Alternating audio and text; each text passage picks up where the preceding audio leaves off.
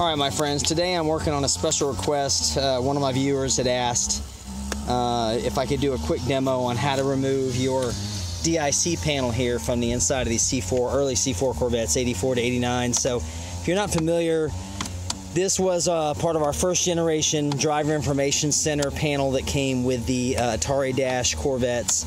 Uh, basically just a, a, series of rocker switches that you'd move back and forth to get different uh, metrics to show on your dashboard. So of course your upper left you got an oil pressure, off oil temperature, range off, trip odometer, reset, coolant temp off.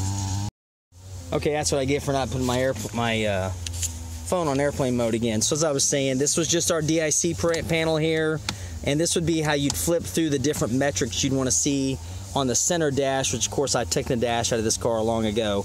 So all that does is pop up these metrics on there, and then you can switch to English to metric if that one wasn't frozen. But real quick, so I can show our, uh, our, our viewer here what they were looking for. First things first, you're gonna wanna take, obviously, these screws out here to remove this outer panel, right? Okay, we've got those out already. This is removed. Now, of course, it's a little bit easier just because I've got the dash out uh, of this already, or the dash top, I should say.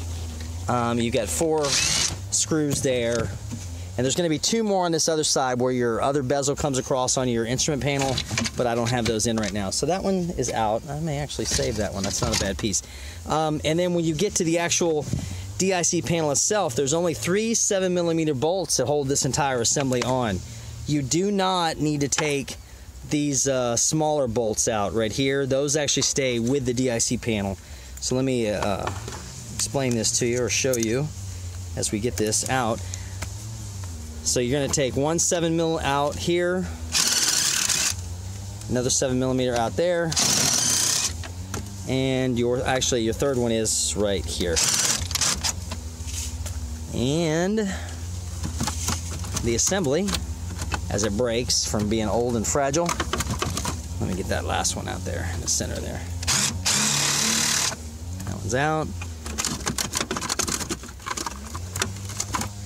And that one just doesn't want to come out, so, okay, there we go. So, as it comes out of here, you'll see on the back side of this, it's got a retainer right here, or where your plug goes in.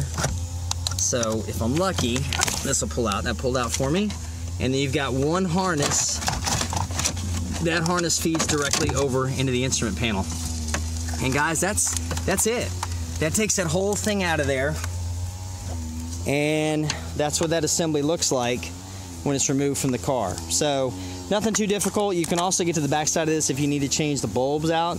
There's your bulb stack up there. And of course, this is that plastic uh, ribbon that they use for the electronics in the early in the 70s and 80s. So that's basically what you got there. So that's it for this one here. Um, I'll be back probably.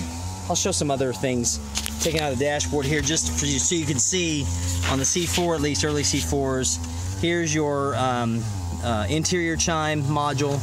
There's your starter relay right there. This one is, uh, don't give me a line, I forget which one that one is. This one is the delay module, which leaves your interior lights on uh, for 30 seconds after you come in and out. And there's your flasher bulb, and that is that. You know, I can't remember what that fuse is for now off the top of my head. It's for some one of the functions of the car. So a lot of the stuff here is tied in. Of course, there's your mass airflow burn-off relay on the early cars. These do not have them on the 87s and above. I can't remember what year they changed that. And then of course from here, if I don't get bit by a snake, there's your um, computer right there. So that's gonna wrap it up for me today on this special pull or teardown for you guys. If you got any other teardowns you wanna see in this car or this era of uh, Corvettes, let me know. I can probably help you out there and uh, we'll go from there. But thanks a lot guys for checking in and uh, I'll see you guys tomorrow.